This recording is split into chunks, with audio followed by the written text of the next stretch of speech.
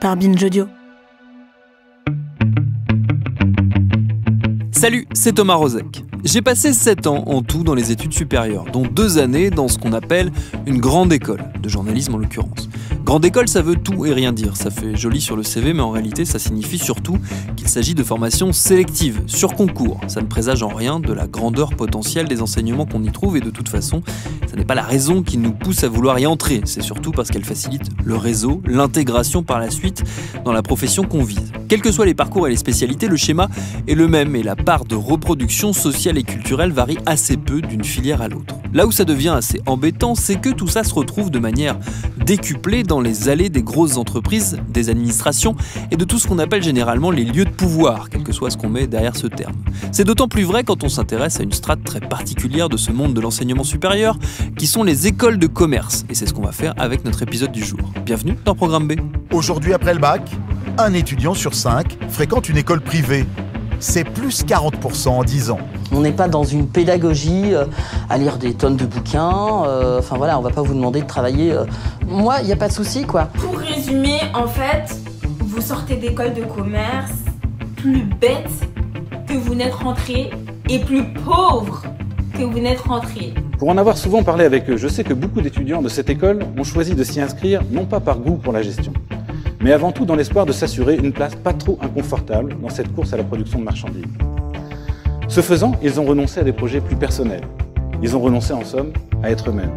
Tous les mois, il y avait un journal anonyme qui paraissait où des rédacteurs anonymes euh, élisaient euh, une pute du mois.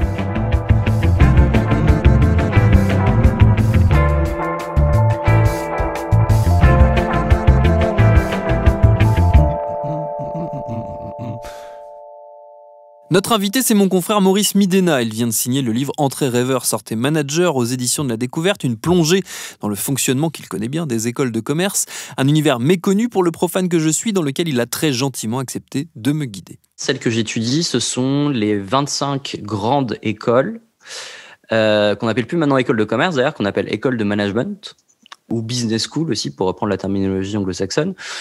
Concrètement, ce qu'on appelle grande école, ce sont des écoles dont les diplômes euh, délivrés sont certifiés, reconnus par l'État, qu'elles sont reconnues pour leur haut niveau de sélection, donc euh, généralement par concours, et en l'occurrence pour les écoles que j'étudie par concours national, après classe préparatoire, donc euh, ce qui atteste de la haute sélectivité, et qui en général sont aussi caractérisées par un haut niveau de recherche, avec un, corps d'enseignants-chercheurs qui publient dans des très grandes revues. Euh, donc ça, c'est déjà ça, ce sont les grandes écoles. Et en l'occurrence, les grandes écoles de commerce qu'on appelle aujourd'hui les grandes écoles de management sont en fait des écoles qui forment plus exactement les futurs cadres des métiers support de l'entreprise, c'est-à-dire des gens qui vont être euh, responsables d'équipe, qui vont être chefs de projet, euh, dans des corps de métier qui sont le contrôle de gestion, donc la comptabilité au sens large, la finance au sens large, donc qu'elle soit finance d'entreprise ou euh, finance de marché, dans les ressources humaines, le recrutement, le marketing et aussi un petit peu de commerciaux euh, au sens strict, mais des commerciaux qui euh, seront pas, euh, c'est pas du tout l'image du commercial qui vient te vendre des fenêtres en tapant à ta porte en bas de chez toi, mais des gens qui vont être dans la négociation, dans la logistique, etc. Et dans la stratégie d'entreprise aussi, de plus en plus. Le livre, il balise euh, un peu quelles sont les grandes étapes du parcours d'un étudiant en école de commerce. Il en reprend les, grands moments. Déjà, la sélection, on, en parlait, c'est un, moment très important, c'est déterminant, c'est un facteur déterminant dans même la qualification de, ce qu'est euh, une école de, de commerce ou de management. Donc, Euh, comment elle se passe, cette sélection? Alors, si tu veux, déjà, il y a une sélection qui est euh, assez euh, logique dans euh, les phénomènes d'intégration des grandes écoles, qui est déjà une sélection sociale. C'est-à-dire qu'on voit que les étudiants qui sont des enfants de familles euh, où les parents sont cadres, de familles bourgeoises, hein, qu'on peut dire aussi, de classe supérieure, sont surreprésentés dans ces grandes écoles parce qu'elles sont dotées euh, d'un capital culturel, d'un capital social et euh, d'un capital économique qui forcément facilite beaucoup la- l'accessibilité à ces écoles, qui sont des écoles où la sélection des concours est rude, et euh, où aussi la sélection par l'argent, même si on peut toujours se, se débrouiller, est quand même aussi, euh, aussi très élevée. Et donc la sélection, s'opère par concours. Et donc les concours, on a donc on intègre après le bac une classe préparatoire économique et commerciale qu'on appelle aussi prépa HEC, où on va préparer pendant deux à trois ans des épreuves de concours qui s'étalent en général sur deux semaines, où tu vas avoir à la fois des épreuves de mathématiques, des épreuves d'histoire ou d'économie, des épreuves de langue, des épreuves de contraction de texte et des dissertations de culture générale. Et donc, on est sur des épreuves qui ne sont que des épreuves, on va dire, purement académiques, c'est-à-dire où on va t'apprendre à surtout manier du concept, euh, des idées et des savoirs euh, qui font partie de euh, ce qu'on appelle la culture générale légitime qui te permet d'accéder à ces écoles. Et quand tu es déclaré admissible, tu vas ensuite te présenter aux oraux. Et là, par contre, les oraux, c'est très, très différent. C'est-à-dire que tu as toujours des épreuves de langue. En général, c'est un oral de langue, euh, de langue vivante. Pour certaines écoles, tu as un oral de mathématiques ou de culture générale, ça peut arriver. Mais ce qui est très important, ce sont euh, les oraux de motivation les euros de personnalité où tu vas échanger avec un jury pendant 20 à 30 minutes sur euh, ce que tu as fait dans ta vie, sur tes aspirations, sur ce que tu aimerais faire, sur tes passions. Et euh, tu dois commencer à ce moment-là à déjà faire montre euh, d'une certaine forme d'aisance orale, de capacité à capter l'attention, de capacité à te mettre en valeur, à te vendre.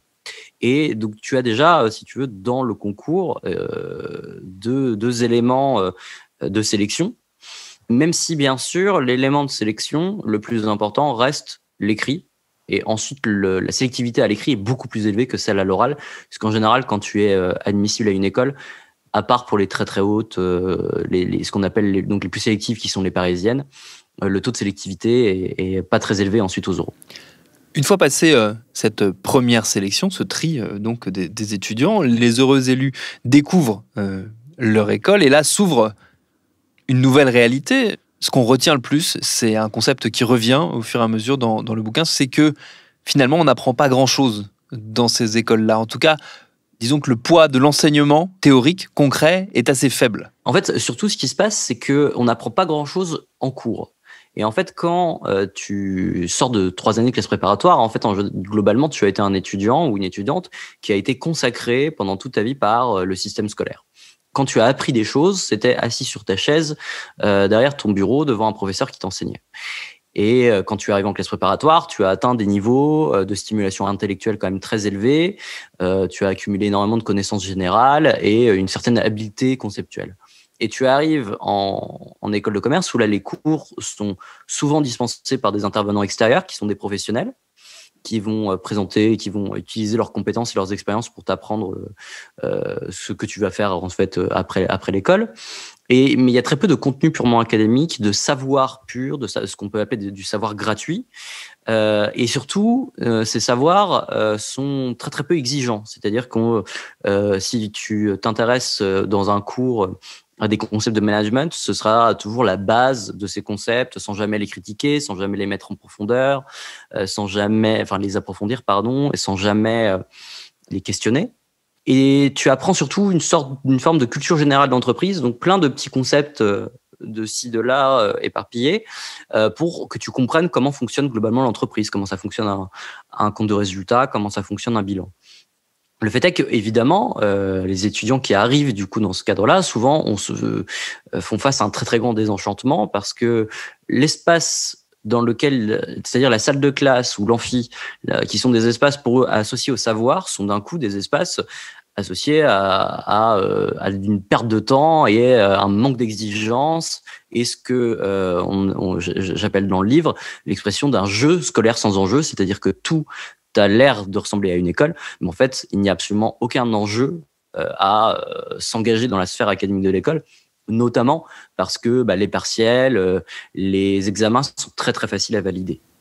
Mais parce que ce que l'école vend par ailleurs et ce que l'école propose par ailleurs, ça n'est pas uniquement justement une formation académique, mais c'est une formation, j'ai envie de dire, à 180 degrés.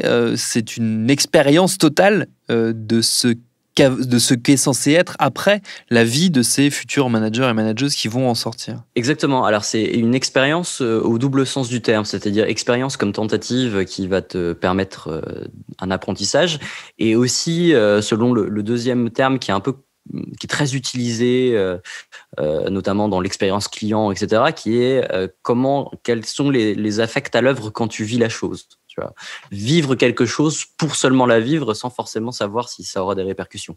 Et tout ça s'entremêle dans l'expérience étudiante, à, savoir que tu as ce côté répétition, notamment dans le, ce qui est très caractéristique de cette double notion d'expérience, c'est l'engagement associatif. Donc, les étudiants sont poussés à s'engager dans une association qui est liée euh, à l'école où tu vas avoir à la fois du coup euh, cette euh, sorte de répétition générale de ce que va être ton travail plus tard, puisque quand tu es en association, tu vas être amené à lever des fonds, enfin trouver des sponsors, euh, à créer une sorte de business model. Quand tu mets en place un événement artistique, savoir combien tu penses vendre de, de tickets pour pouvoir rentrer dans tes frais, bah, faire la comptabilité de ton association, mettre en place des campagnes marketing, des campagnes de communication, etc aussi gérer des équipes, trouver ta place dans une équipe, gérer des conflits, pousser les gens à faire euh, tous ensemble, à mener un projet à, bien, etc. Et en même temps, euh, l'espace associatif qui régit véritablement euh, la vie sociale dans l'école, en fonction de la coolitude de, ton asso, détermine aussi beaucoup ton positionnement de personne cool ou pas cool dans l'école. Et euh, tout ça, euh, du coup, fait que euh, ton expérience étudiante va dépendre donc de ton expérience étudiante en tant que seule source d'affect sur le moment, va dépendre ton association. Ensuite, s'enrichit tout ça de des soirées, des voyages organisés, des ateliers de dégustation de bière, etc., etc., etc. Tout ça aussi dans l'expérience est en fait une euh, répétition de la vie qu'en général ont euh, les étudiants quand ils sortent d'école, parce que finalement le week-end d'intégration, ce n'est rien d'autre qu'une répétition du séminaire d'intégration d'une entreprise.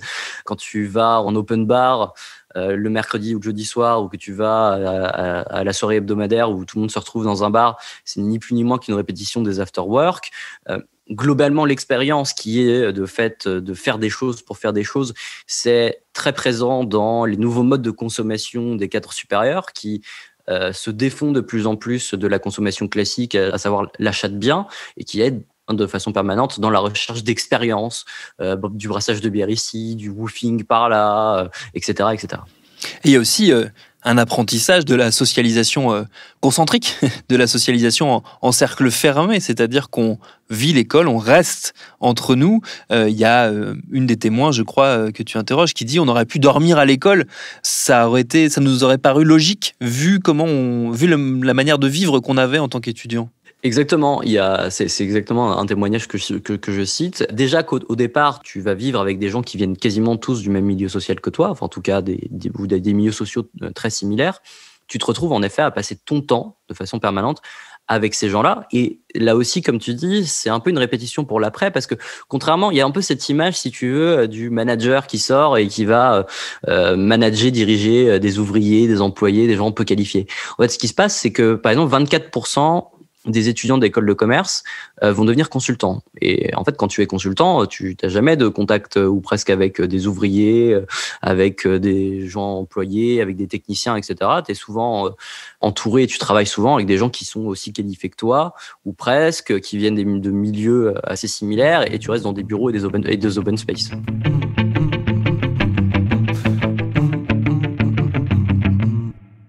c'est pas une enquête euh, révélation, euh, les dessous cachés euh, des écoles de commerce, c'est pas c'est pas le propos, mais il y a quand même une partie assez noire, assez sombre que tu que tu abordes, qui est notamment la question du bizutage et du harcèlement, qui sont des réalités qui ont été dénoncées régulièrement, notamment dans dans, dans les colonnes de Mediapart, qui sont des réalités avec lesquelles doivent composer aussi ces écoles aujourd'hui.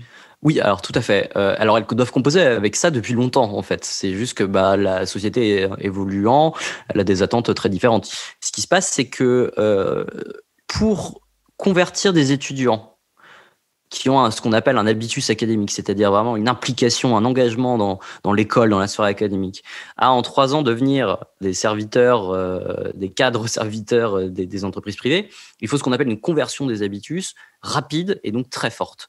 Et surtout que ce sont des étudiants qui globalement n'ont pas trop de vocation globale et ont sûrement pas vraiment de vocation à devenir des managers parce qu'a priori personne en fait n'a fondamentalement de vocation de rêve dans sa vie à devenir un manager. Et donc il faut leur faire euh, leur donner envie leur leur faire adopter ce projet. Et une façon de faire adopter ce projet c'est par là que passe le bizutage.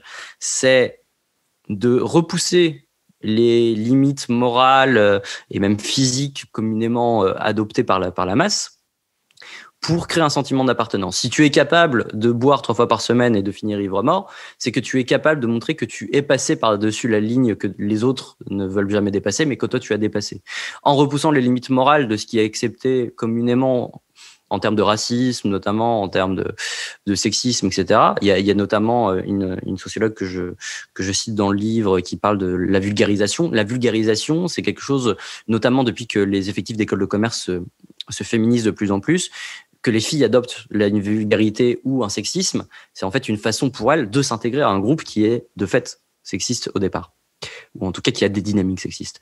Et ça, c'est aussi quelque chose qui, à mon avis, est très important, c'est de recomprendre que les étudiants d'école de commerce sont d'abord des, jeunes qui sortent de l'enfance, qui ont 18 piges, qui se retrouvent en, en, classe préparatoire, qui au bout de deux ans se retrouvent en école de commerce, à qui on laisse pas trop trop le temps de grandir, euh, de se former intellectuellement, et euh, qui sont pris dans un système euh, de formation et de formatage très très très très puissant qui peut leur faire commettre les pires atrocités et qui peut aussi bien sûr être très préjudiciable pour la vie de, de certains d'entre eux qui sont euh, victimes de bizutage ou qui sont victimes d'humiliation comme je le raconte dans le livre. Ça rejoint une des, conclusions du livre, euh, qui est que finalement les écoles de commerce ne sont pas tant le problème qu'un symptôme d'un problème plus grand, qui est euh, le poids, la prédominance d'un système capitaliste et financier qui en gros euh, a besoin de ces écoles pour alimenter sa machine, mais qui le jour où, où il cessera de fonctionner ou fonctionnera différemment n'en aura plus besoin et trouvera autre chose. Oui, exactement. Et c'est-à-dire que je, suis allé dans ma conclusion au bout de ma démarche, c'est-à-dire que plutôt que de penser en permanence euh, l'indigence des cours et le bizutage comme des limites, comme des défauts du système de formation euh, des, des élites économiques, me servant des témoignages que j'ai récupérés et en les mettant en perspective avec tous les travaux critiques qui avaient déjà été existés, c'est de penser le tout comme un système cohérent.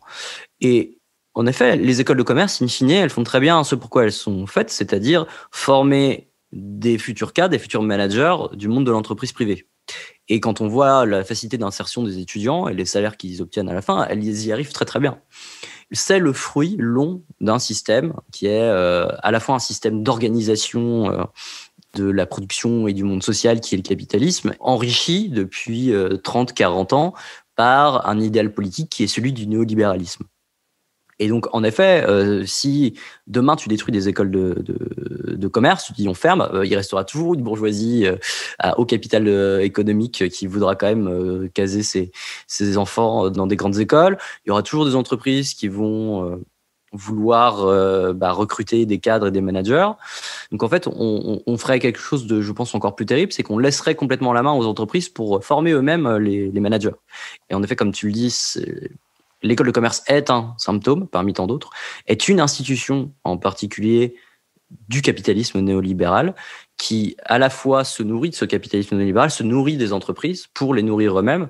Et tu as ce, ce, cette espèce de cercle. Et pour casser le cercle, on ne peut pas casser la conséquence qui est les écoles de commerce, mais il faudrait casser toutes les bases. Vaste projet, mais finalement, vous l'aurez vous-même, nos sujets convergent régulièrement vers cet objectif commun. Merci à Maurice Midena pour ses réponses. Programme B, c'est un podcast de Binge Audio préparé par Lauren Bess, réalisé par Mathieu Thévenon. Abonnez-vous sur votre appli de podcast préféré pour ne manquer aucun de nos épisodes. Facebook, Twitter, Instagram pour nous parler. Et à demain pour un nouvel épisode.